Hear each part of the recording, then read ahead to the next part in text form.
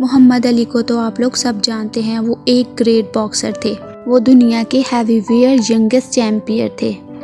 और उन्होंने 19 बार अपने टाइटल का दफ़ा किया। अपनी ज़िंदगी में उन्होंने 61 फाइट्स किए और उनमें से 56 जीते। सैंतीस बार उन्होंने अपने अपोनेंट को नॉकआउट किया। एक बार मोहम्मद अली से किसी ने पूछा, ज़िंदगी में कामयाबी के लिए स्किल ज़्यादा ज़रूरी है या विल विल मतलब विल पावर खुद पर यकीन, कुछ कर दिखाने का जज्बा। मोहम्मद अली ने जवाब दिया स्किल विल से ज़्यादा ज़रूरी है। उस शख्स ने पूछा, कैसे? इस दुनिया में हर कोई तो स्किल डेवलपिंग की बात करता है।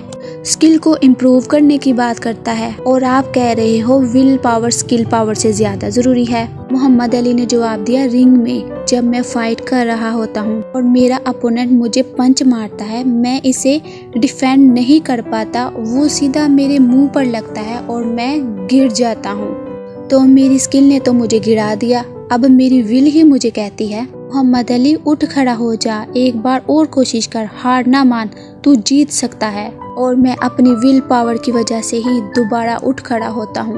और अगर मेरी विल ही कमज़ोर हो तो मैं उधर ही हार मान जाऊँ। इसलिए दोस्तों, आपका आईक्यू लेवल कितना हाई है? आप कितने काबिल हैं? कितने स्किल्ड हैं? कितनी शानदार सलाहितों के मालिक हैं? लेकिन अगर आप में कुछ कर दिखाने का जज्बा ही नहीं, अगर आप गिरने से डरते हैं, और अगर गिर जाएँ तो उठने की हिम्मत नहीं करते, हार मान जाते हैं।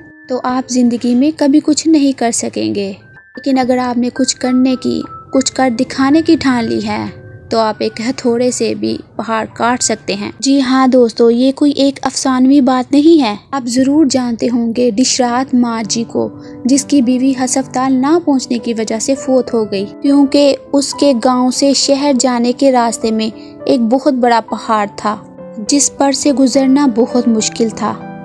उस मुश्किल रास्ते से गुजरते हुए उसकी बीवी रास्ते में ही फोत हो गई। उस आदमी ने पहाड़ को काट कर उससे रास्ता बनाने की ठान ली, ताकि किसी और का प्यारा ऐसे ही फोत ना हो जाए। उसके पास वसाइल नहीं थे। उसने एक हथौड़े और छैनी से ही पहाड़ को काटना शुरू कर दिया और काट कर दिखाया।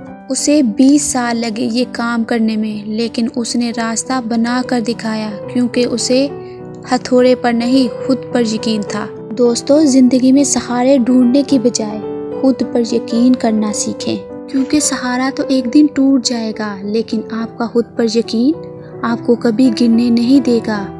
दोस्तों, अपनी ज़िंदगी का ये असूल बनाओ। जीत से पहले जीत और हार से पहले हार। कभी ना मानो। अगर आप हमारे चैनल पर नए हैं और अभी तक आपने हमारे चैनल को सब्सक्राइब नहीं किया तो इसको सब्सक्राइब कर लें और बेल के बटन पे भी क्लिक कर लें ताकि इस तरह की हर नई आने वाली वीडियो का नोटिफिकेशन आपको बर वक्त मिल सके। और दोस्तों बढ़ते रहो बस मंजिलों की ओर और, और कुछ नहीं तजर्बा तो नया हासिल होगा।